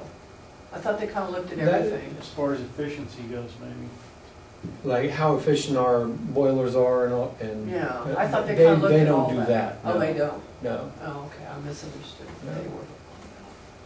but as far as personnel and how we use personnel and things Yeah. like that, they'll look at those and, um, if we could be more efficient by, uh, laying things out differently, they Yeah. can, what do you uh, think? look at those things. An architect might, or just to, just to look at, look at a building and office slash entrance area there. I don't know, A Couple thousand, yeah.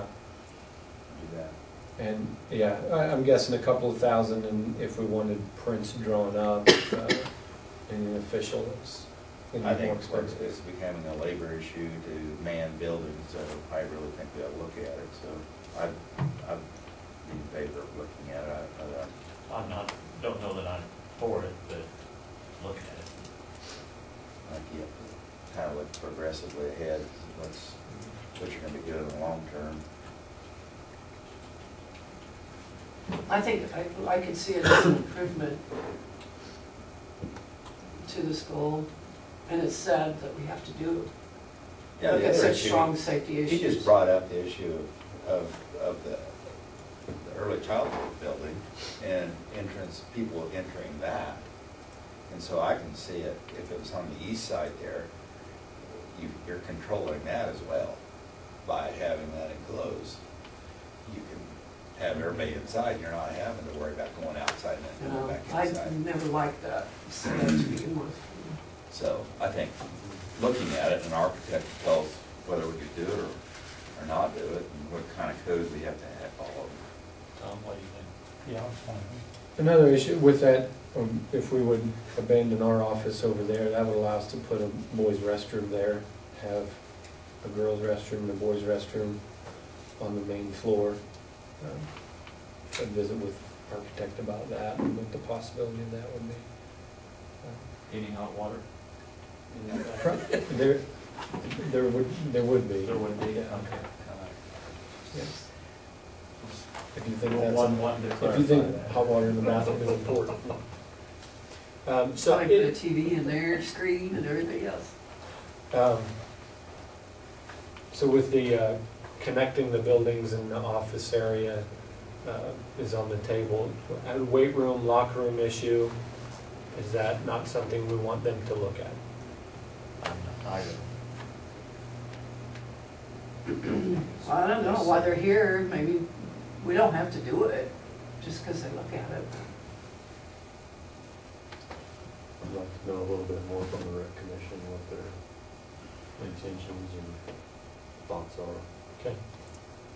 'Cause they, I'm guessing they do have substantial funds to contribute, you know. I, I kind of have mixed emotions on it. I just real, uh, like to think of what we're doing for students. And I know that weight training is something that will continue. And I, I think the facility that people, that what kids use, if you have state-of-the-art facilities, kids have a different mindset than just an older building. And I, I know our building would be suffice, but even the, the aesthetics and the appearance of it have a lot to the way kids work.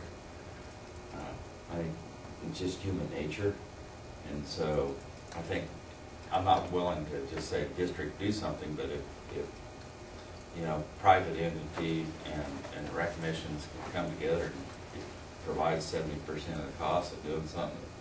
And we do need some other restroom or dressing room facilities, especially when we host tournaments.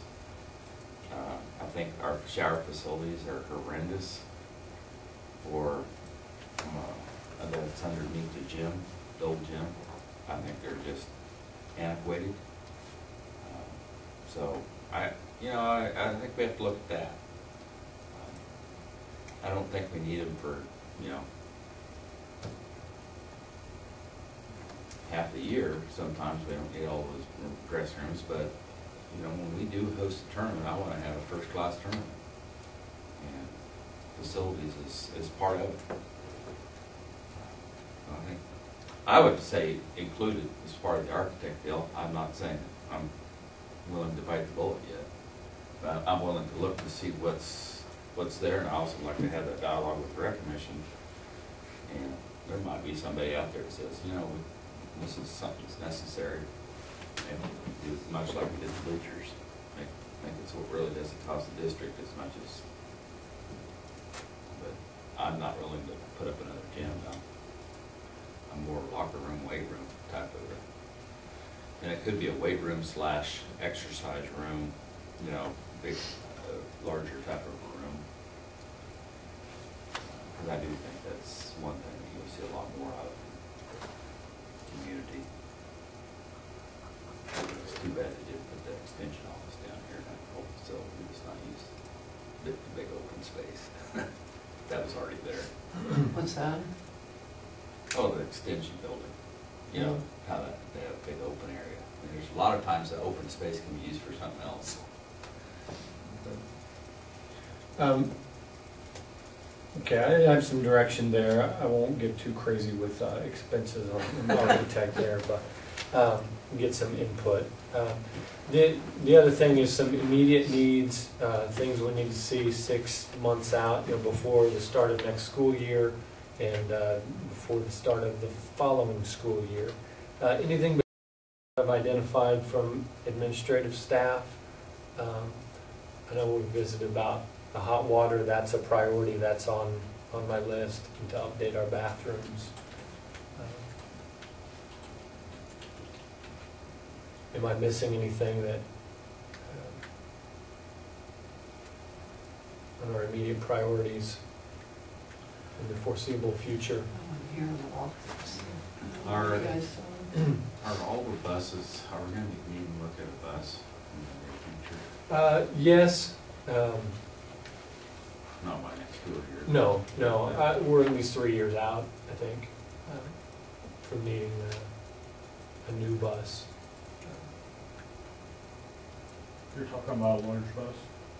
Yeah, and I'm thinking activity bus, um, or route buses. um, We transport about thirty-five kids, thirty to thirty-five kids. So we don't really have a need for a large bus for a route.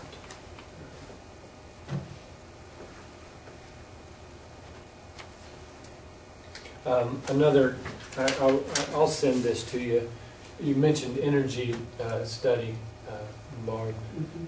I had a guy come in and he looked at our facilities, looked at our bills over the year, uh, over a year's time, and looked at um, the efficiency of our, uh, of our energy here and our use of gas and electricity and identified some savings here. I will scan this and send this to you, um, but boilers and our chillers, uh, AC compressors and those things, you'll work into this long-term plan. Um, And this may be, if we would work into a bigger project, some of these things could be included in that. So I didn't want to go over all this here for time's sake, but I will send that to you. Some interesting stuff there.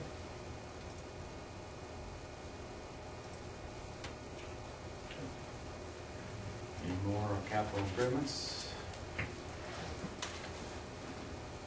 Jess, if you have comments or you just have some discussion, stop in the office and visit with Josh about that. Move on to the added agenda item, board policy change. On uh, the supporting documents, page 18 and 19 uh, includes our current policy. Uh, This brings to mind another uh, task that we have to complete. Our board policy, um, and just to give you an idea, this, the 18 and 19, page 18 and 19 on there, on your supporting documents, that's the actual policy from our paper printed policy book. When I want to know that, that blue book over on Julianne's desk, you all have seen that. uh, uh, So when I want to see what our policy is, I look it up there, found this one.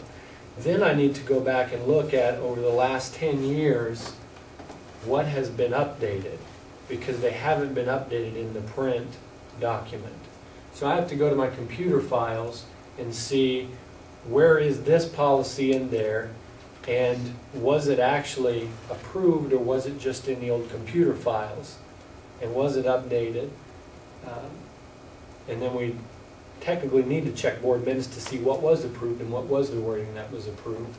Um, Page twenty, I did find this in the updates and this, this is another situation. Is this part of our policy? This was included in the computer files with the updates, but it's not actual policy here. Um, This is a reference to a policy that they have recommended in past years. It just clarifies some of this. The only difference here um, in the policy, the issue at hand is the wording under reasonable suspicion. I want to remove that from the, uh, from the policy. That just allows us to do it whenever we think it's necessary, not necessarily when we sus- suspect anything. Did you check with KASB about that? This is, uh, page 20 is their recommendation uh, from a few years back. So is this really our policy right now? I don't know.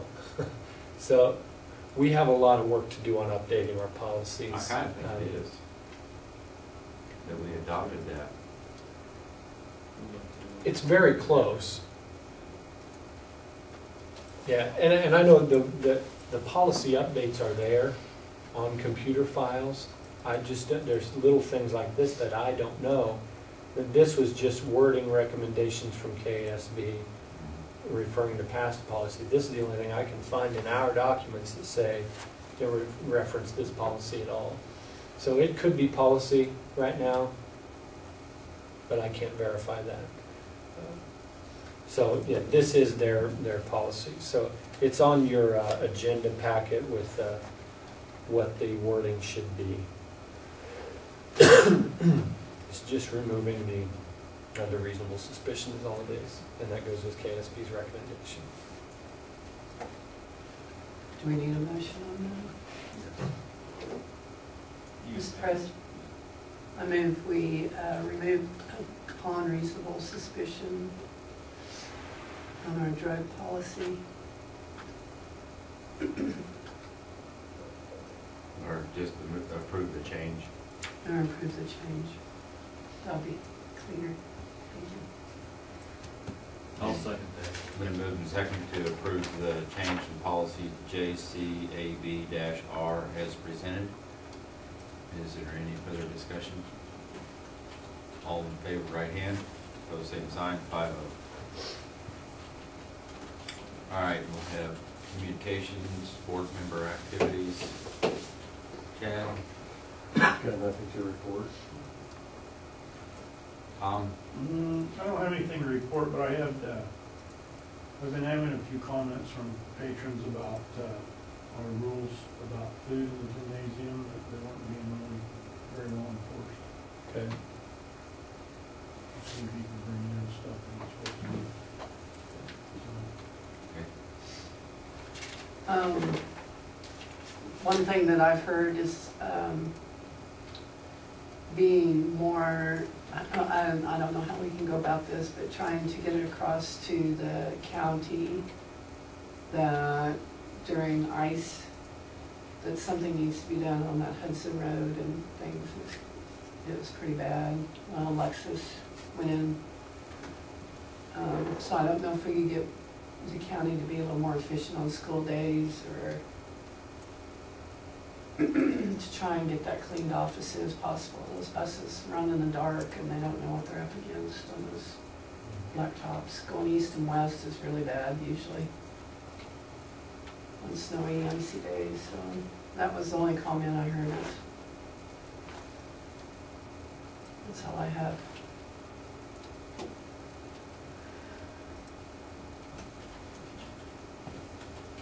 Uh, Last week, I was uh, working a little bit with the county appraiser's office on uh, some potential evaluation, use, land use changes on how land is uh, appraised. And there were some uh, soil types that uh, the state has classified a certain way, and they're definitely wrong. And they've been trying to work on it, and, and so I've been working with them a little bit on some background information on what we did with USDA with it. It, would affect then us on uh, how much, uh, evaluation. yeah, LOB is and everything, that, you know, it could lower everyone's rates, you know, for most people stuff.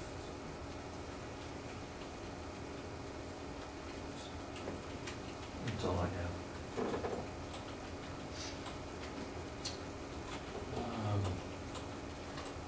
heard a couple com- uh, comments about just with the flu season that uh, hopefully that we're being proactive and helping keeping things clean, especially as the tournament approaches.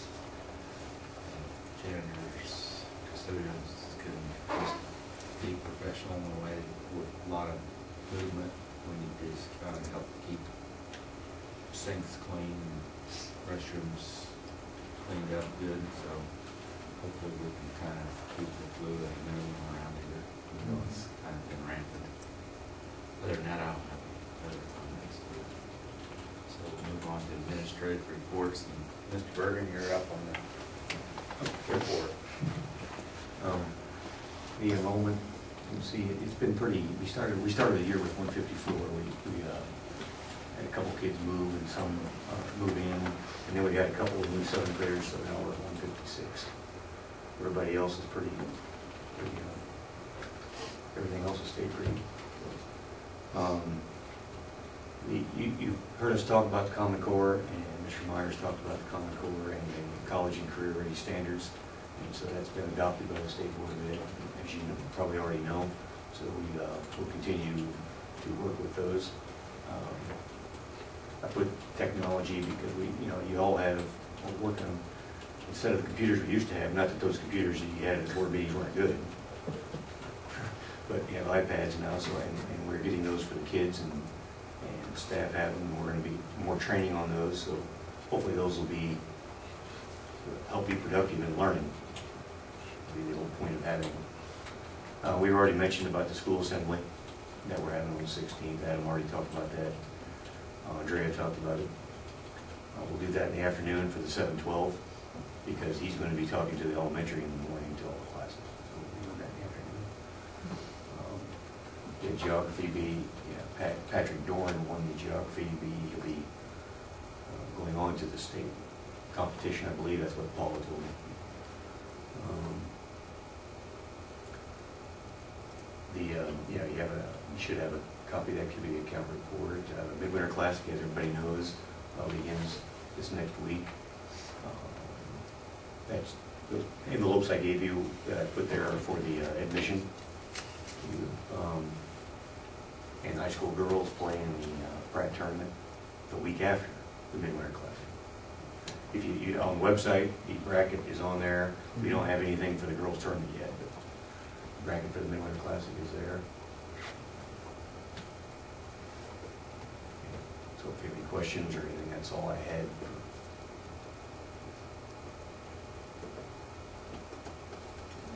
Thank you. Ryan?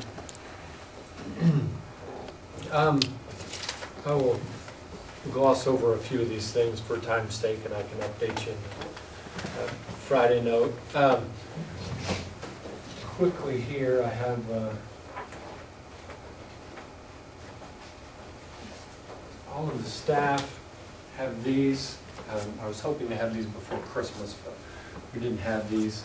Um, And these are for you. Uh, I wanted to make sure every staff member, everybody that represents us has something like this in their hand. We go to a lot of meetings at other places. Um, We want to make sure our St. John Hudson name is getting out there. Um, Part of that pride uh, in what we do here. Um, So, and, and the purpose, passion, pride thing, I just want to keep that in front of everybody and uh, keep, thi- everything we do, we need to think about that purpose and that little chair over there and um, do things with passion, have a little pride for, for what we do in our job. So um, that is for you.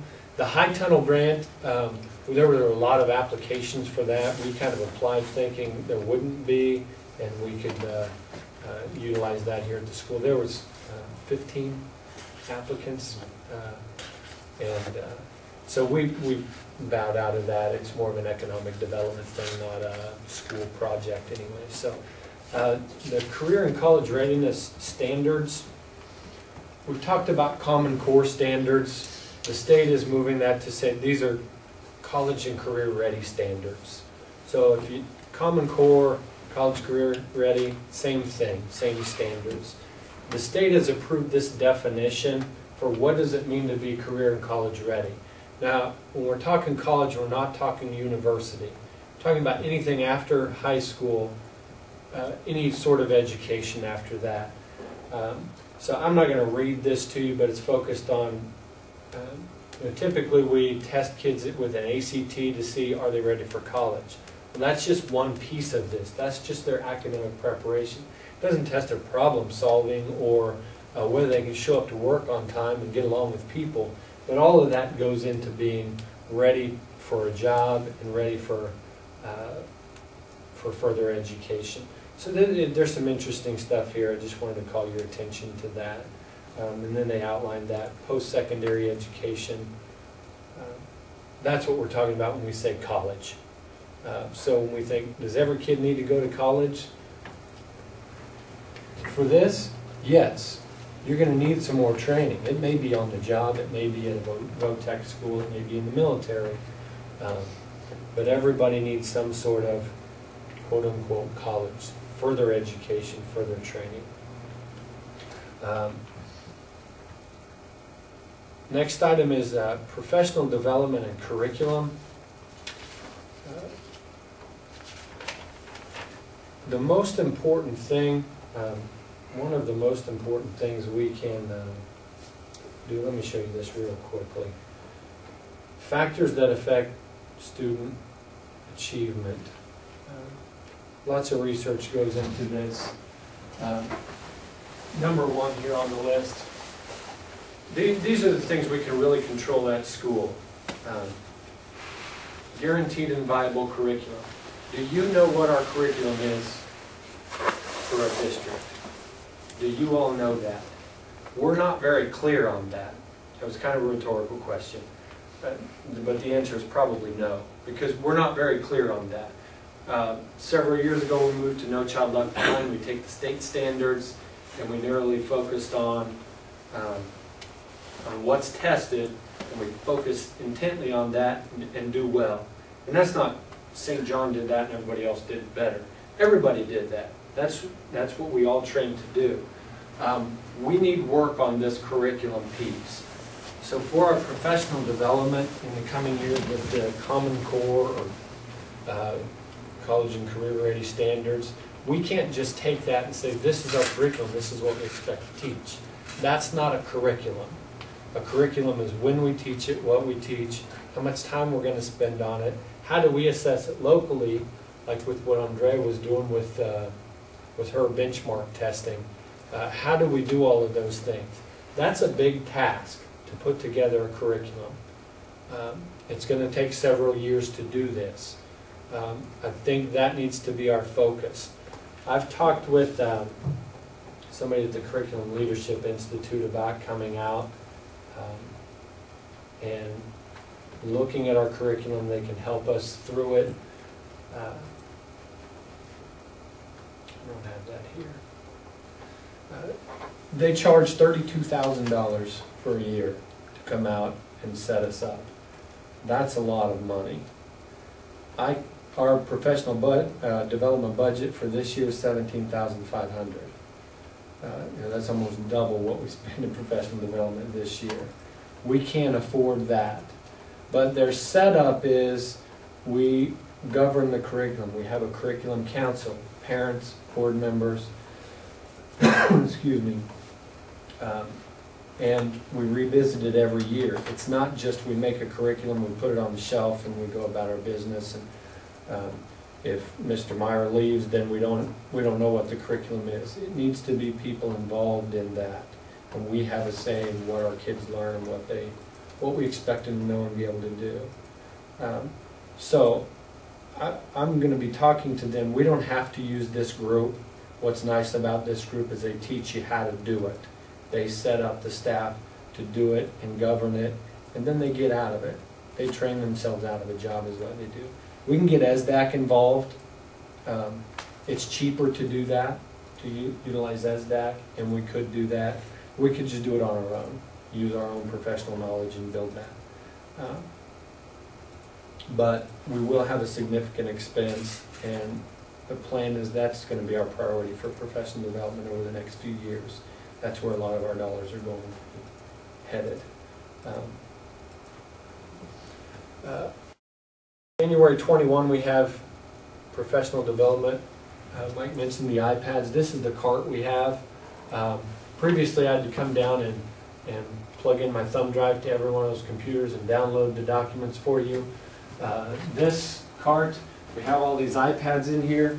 I bring this laptop down here, plug it in, it downloads all the apps, all of the uh, documents, anything I want onto all of these. So it locks, goes to each classroom if we have apps we want kids to be using. We dump them on there, it's quick, we get it to a classroom and they use it. Um, So lots of staff have these iPads, they're learning to use them. We're gonna have uh, significant training on those coming Does up. this removal of information go as quick as, as putting them on? Yes. Works both ways. Uh, We're also going to be spending time looking at our mission statement as a district and our vision for where we want to head. Uh, We're going to talk that, uh, talk with the staff about that. A lot of these things that we talk about, doing the curriculum, um, those are important, those things that happen in the classroom. But it all starts with our mission. What do we really expect? What do we want to see for our district in the future? The purpose, passion, pride thing is, is part of that, but that doesn't really tell us what we want to see for our kids when they graduate high school. So we're going to visit about that. Um, next year with our professional development, we will be spending fewer days probably with in-service. We added days this year for the MTSS collaboration. Um, don't take this as we're wasting time, but we, we're kind of backfilling days. We're trying to figure out, well, elementary's busy, what are we going to do with our junior high and high school teachers? And we, we find things and we, we make that productive. Um, But we want to be purposeful about that time. Andrea's working on a schedule where we don't need that collaboration time during um, in-service days. We don't need to send the kids home and have our teachers here. We still need to do that, but not as much. Uh, So I just wanted to give you a heads up of where we're headed with that. We'll schedule time during the school day where teachers would have uh, you know, two teachers would have planned time together. The kids would be in PE and music or something like that. They have time to plan together, they can collaborate during that time. And they may have a little bit more time than the fifty minutes they're required to have for plan time, but that's also for the MTSS time and some of those things. Uh, So that's on professional development. Excuse me. Uh, The Communities that Care Survey, this was in your packet as well with the supporting documents. Uh, This is a survey, uh, six, eight, 10, and 12 each year. Uh, Kids take this survey. Uh, Nothing holds them uh, accountable to be honest in this. Uh, For the most part, it's, it's decent uh, data. Some kids I know don't take it seriously if there's no, no reason for them to be taking it other than just the goodness of their heart, sometimes they'll just say whatever they want. Uh, It's divided into protective data, things that, uh, uh, that we as a community, as a school, um, good things for the kids. You see it compares the state average to our average. For the most part, uh, the protective data, we're in a better situation than most of the state. Our kids report uh, more positive things. We're lower on opportunities for school involvement. On the risk data, we are, um, you know, it's, it's mixed, uh, family management, risk of drug use and some of those things. Uh, For the most part, I think we're better, uh, the data shows we're better than the state average, but it's very mixed, uh, more so than the protective data. And then the 30-day use data, you can see the trends over time. Over the last three years, you know, it's dropping, or it has dropped. Uh, And for the most part, we're better than the state average. Are these, So- Go ahead. the questions asked, just general questions leading into the specific, Some of them are Category. very specific. What, how many times over the last thirty days have you used marijuana? And they they pick up, you know, zero or one to five, something like that. Some of this uh, comes from more general questions, like the poor family management uh, would be a question not specifically rela- related to that, but they would compile data to come up with that. Just seems like the antisocial behavior seems to be strong, and I don't know, maybe I'm reading this. That he or she will be engaged in it, so meaning that if it's stronger than the US, then that means that they would be more strong into engaging in antisocial behavior. There's been a couple of questions we seem to be, mm-hmm. Like parental attitude toward antisocial behavior. yeah, Kids perceive- antisocial involvement, we're real close to the Early initiation of problem behavior, we're pretty long on that. Favorable attitude toward antisocial behavior, we're longer on that. Lack of commitment to school, long on that. So, are we losing our crowd? I, I don't think so. Um, It I just don't- seems, I'm surprised, I guess.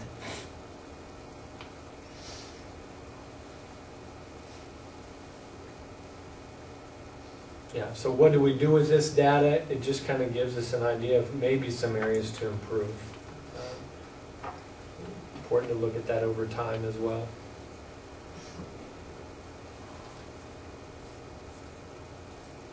Uh, I don't really have much on the transportation update other than uh, we did purchase the van. We got that in. Uh, We're waiting on it to get inspected and start using it. Uh, We haven't identified which one we want to get rid of yet, or if we need to get rid of one. We have, uh, uh, we have some routes that, uh, special ed, we take kids around town. uh, So use an older vehicle to, and we have to tie up a vehicle all day long for that. So we just use one of those higher mileage vehicles for that. Um, Maintenance update, um, many of you have seen the floor, uh, the issue with the wax, build up over time. Why we let it build up and not take care of it every year, I don't know. Um, It is what it is. We've got layers and layers of wax. That's the issue. Um, The cafeteria looks a lot better. And uh, I heard a lot of comments and questions and why the hallway looks so bad. We fixed the cafeteria. But it takes forever to get that stuff off. They took three solid days with uh, three people in there, uh, putting the stripper on and buffing it off and a repeated process. Uh, It's a big task. We won't be able to get to the rest of it until, uh, until summer. Uh, We'll come in with the diamond uh, pad and buff that cafeteria area and then put sealer down and uh, should look even better. So that will be, that's where we're headed. We have a direction, we know what's possible. Uh, We'll get there. Uh, We've been working on prep for the tournament. Mike and I visited with uh, David about uh, uh, general things that uh, need tidied up before the tournament um, and some things that we need to really be doing anyway. Does the uh, exhaust fans, whatever in the gym, are they working? Yeah. As far as I know, you have the exhaust fans with? Yeah, one, one of them makes it, Lines or uh, whines, yeah, that's what, yeah, that'd be a good way to describe it, one whines or makes noise. yeah. does it need, Just calling you service. Yeah.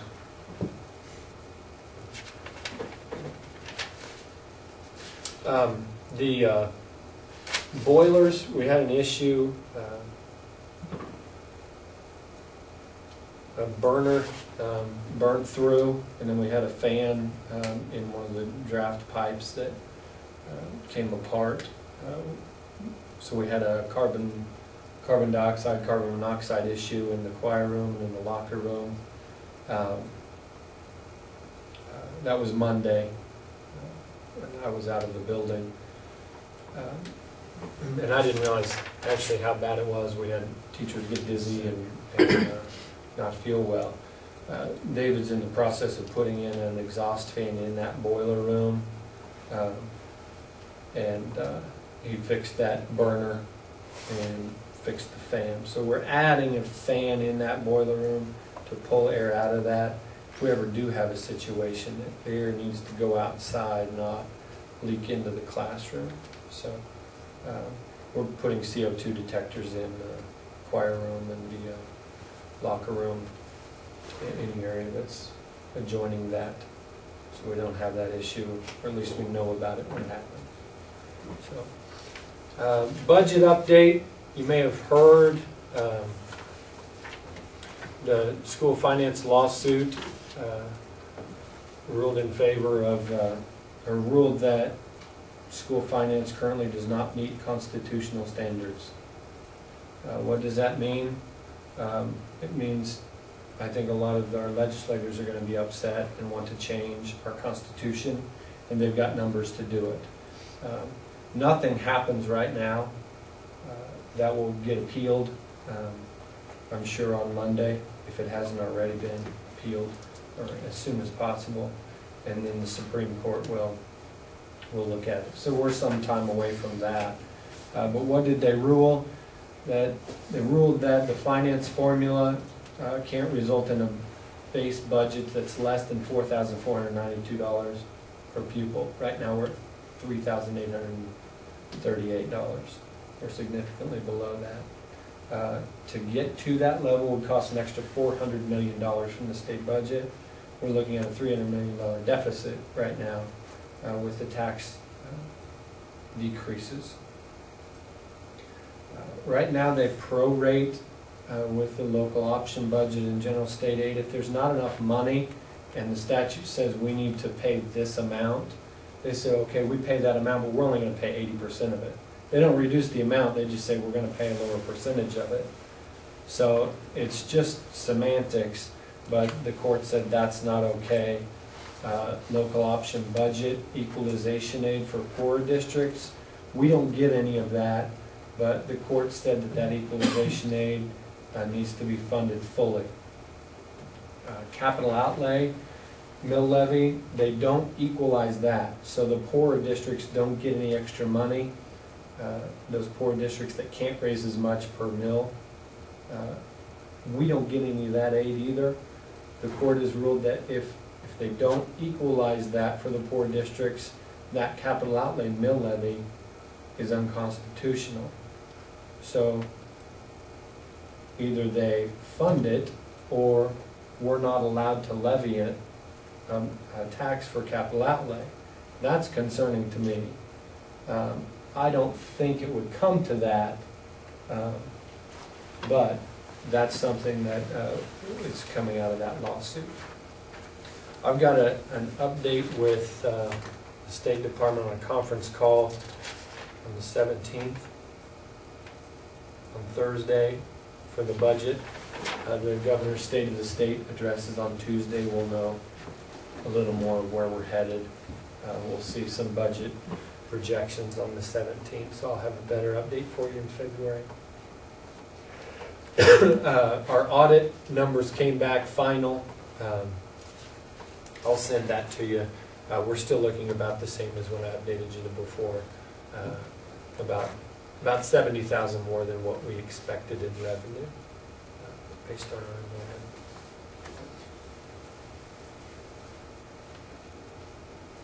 And that's all I have for my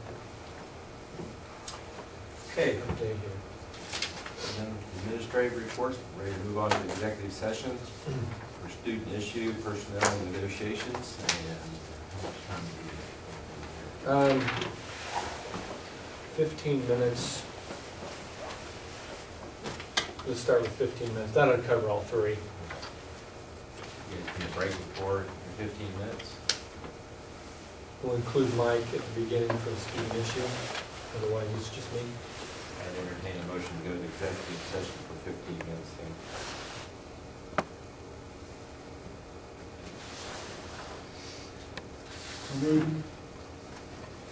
Second. Then move second to go to executive session for student personal negotiation for fifteen minutes with administration, uh, Mr. Meyer and Mr. Bergen. All in favor, right hand. Opposed, same sign, five oh.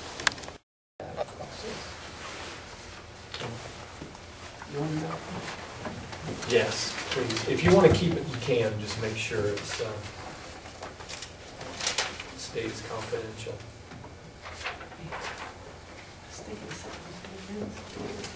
And nothing further. All right. Those business items, resignations, none. Future agenda items. I'll update you on the Friday notes. And entertain a motion to adjourn.